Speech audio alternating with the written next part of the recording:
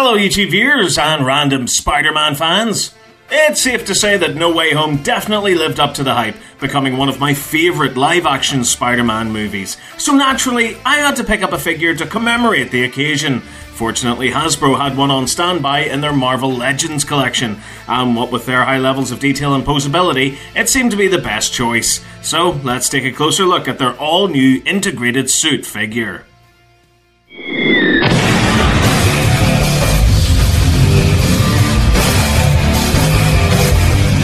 Starting off with the packaging, it's in the standard Marvel Legends style with the warped edges, nice big plastic window displaying the figure well, and the movie logo as well as the name of the figure written underneath. The sides of the box also offer some artwork of the new suit, while the back features a brief write up in multiple languages, which you can pause the video to read if you so wish. Beside these are a great image of Spidey swinging into action, while below this, some images detail the other figures available in the wave. So that does it for the packaging. Let's crack it open and take a look at the figure itself. Okay, so here we have Spider Man in his all new integrated suit. The detail is simply brilliant. For its small size, the head sculpt has been shaped incredibly well, with indented grooves making up the webbing design across its surface, while the eyes have been painted very sharply with minimal bleeding.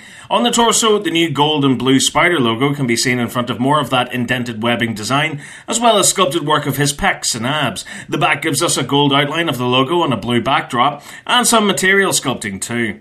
The arms feature golden accents on the shoulders, as well as gold and silver web shooter gauntlets around the wrists and forearms, while the hands are posed in clenched fists.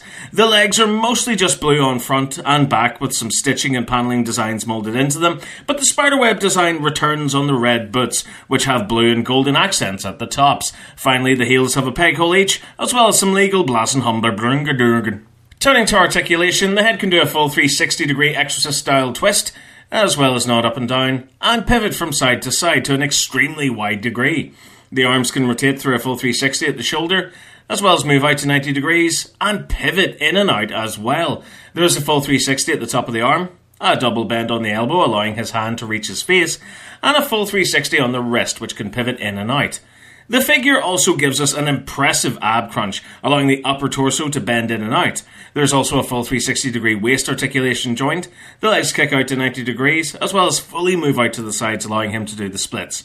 We get a 360 degree joint at the top of the leg, a double bend on the knee, allowing himself to kick himself up the backside, or lower back, I guess, in this case. Finally, we get an ankle pivot joint, allowing the feet to move forward and back, as well as twist from side to side.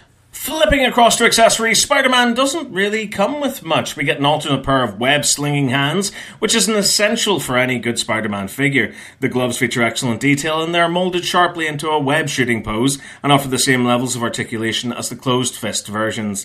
This is great as it allows collectors to change up the look of the figure while on display, with my personal preference being him posed with one of each as it looks very dynamic. And doing a quick size comparison, the integrated suit figure fits in well with the other Marvel Legends figures in my collection, putting him at around 6 inches in height, if not slightly shorter. So overall, what do I think of the No Way Home integrated suit Spider-Man figure? Well, I really like it. The detail is fantastic with minimal paint bleeding, making it look beautiful when it's on display. The real selling point though is the articulation. It takes me back to the glory days of playing with my original Tobey Maguire figure when I was a kid. Articulation is essential when it comes to a Spider-Man figure. It makes play way more dramatic for kids and allows collectors to display the figure in many exciting dynamic poses. There's nothing worse than having a Spider-Man figure who looks awkward and weird whenever he's posed in a web shooting manner. I will say that the lack of accessories annoys me, as I would have liked something simple such as a strand of web which could clip over his wrist, or even a base with a peg, as that would allow for further exciting display poses. In the end, it's a great figure, and it's one that I was eager to pick up to represent one of the best Spider Man movies in recent memory. Thanks for watching. Like, subscribe, and share if you enjoyed this video. And why not be extra awesome like all of these people and support us on Patreon? Links are in the description. Until next time, farewell.